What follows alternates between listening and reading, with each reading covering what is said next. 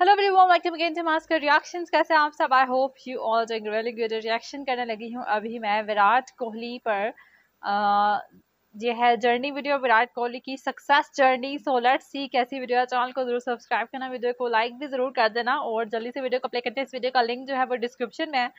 सो so, check करते हैं। मैंने एटीट्यूड कुछ एटीट्यूड विराट कोहली की एटीट्यूड वीडियोस मुझे आई थी इंस्टाग्राम पर। सो so, इंस्टाग्राम पर आप भी मुझे जो है वो बेच सकते हैं। वीडियोस वगैरह लिंक डिस्क्रिप्शन में होता है इंस्टाग्राम का। सो so, uh, आप भी मुझे वीडियोस भेजिए सजेस्ट कीजिए और ये वाली जो वीडियो है ये भी इंस्टाग्राम पर आई है। मैंने सोचा इसको देखती हूँ क्या वीडियो है विराट कोहली के बारे में ये वाली। So let's play the video channel को सब्सक्राइब ज़रूर करना एंड चेक करते हैं वीडियो 2022 के अकॉर्डिंग विराट कोहली की नेटवर्थ करीब 1125 करोड़ रुपए है। लेकिन ये पैसे सिर्फ़ मैच खेलकर ब्रांड एंडोर्समेंट या फिर पेड सोशल मीडिया पोस्ट के ज़रिए ही नहीं आते।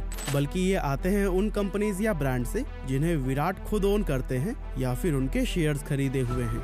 अब विराट कोहली द क्रिकेटर के बारे में तो आप लोगों ने बहुत कुछ सुना और देखा होगा लेकिन आज हम विराट कोहली द बिजनेसमैन के बारे में बात करने वाले हैं। मज़ा आएगा।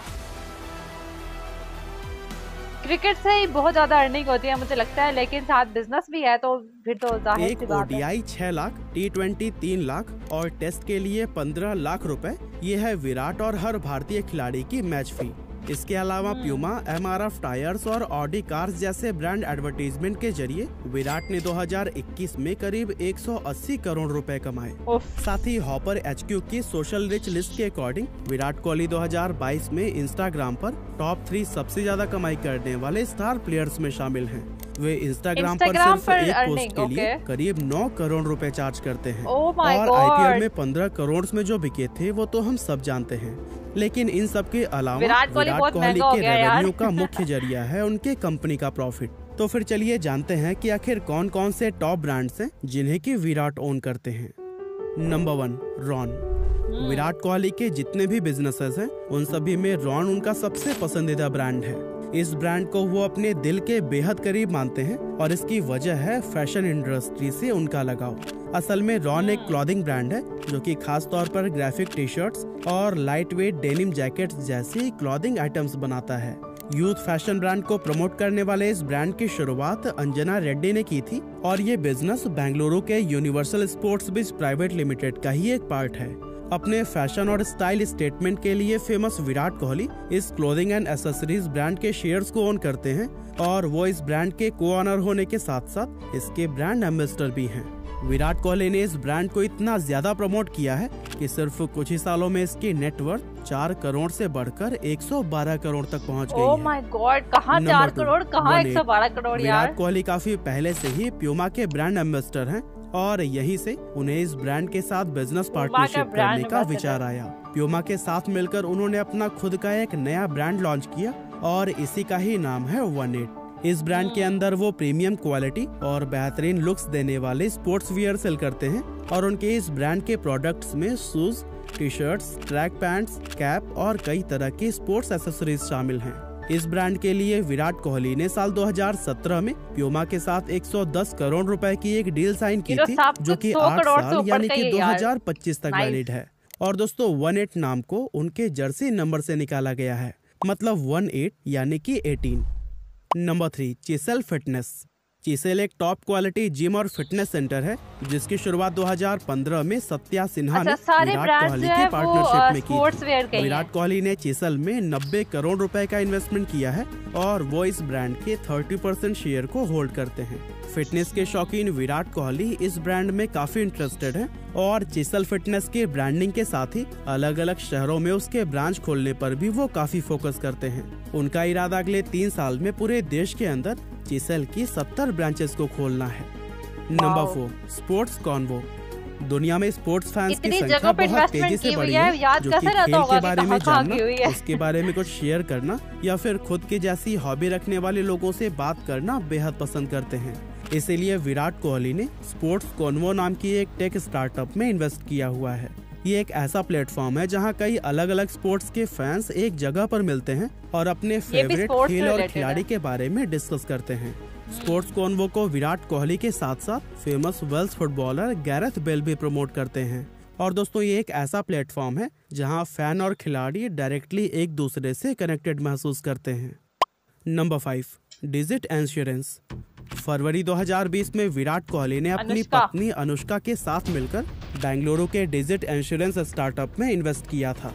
विराट कोहली के पास इस कंपनी के एक दशमलव सात तीन करोड़ रुपए के शेयर्स हैं, जबकि अनुष्का शर्मा के पास तैतालीस लाख रुपए के शेयर हैं।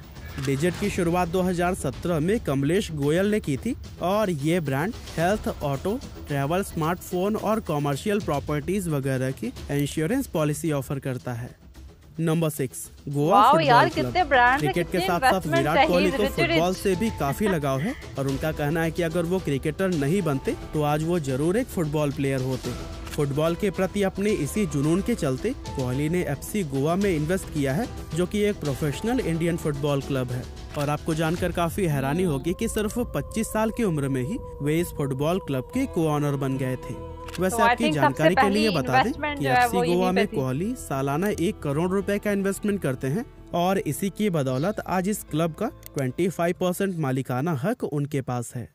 Number seven UAE Royals Virat Kohli ने सिर्फ़ फुटबॉल ही नहीं बल्कि टेनिस में भी इन्वेस्ट किया हुआ है और इस समय वे इंटरनेशनल यानी कि आईपीटीएल के फ़ेमस टीम यूएई रॉयल्स के को ऑनर हैं। दुबई बेस्ड इस United Arab Emirates Royals tennis team की शुरुआत साल 2014 में हुई थी जिसका हिस्सा दुनिया के महान टेनिस खिलाड़ियों में से एक रोजर फेडरर भी रह चुके हैं। और दोस्तों विराट कोहली ने इस टीम में 2015 के दौरान इन्वेस्ट किया था और इस टीम के को ऑनर बन गए number eight Bengaluru Yoddhas football और टेनिस के अलावा भी विराट कोहली ने एक और खेल में इन्वेस्ट किया है और वो खेल है रेसलिंग दरअसल साल 2015 में यानी कि इस लीग के शुरुआत में ही उन्होंने प्रो रेसलिंग लीग में खेलने वाली फ़ेमस टीम बेंगलुरु योद्धाज में इन्वेस्ट किया हुआ था। और उसी की बदौलत आज वे इस रेसलिंग टीम के सपोर्टर होने के साथ साथ इसके को ऑनर के भी रूप में जाने जाते हैं।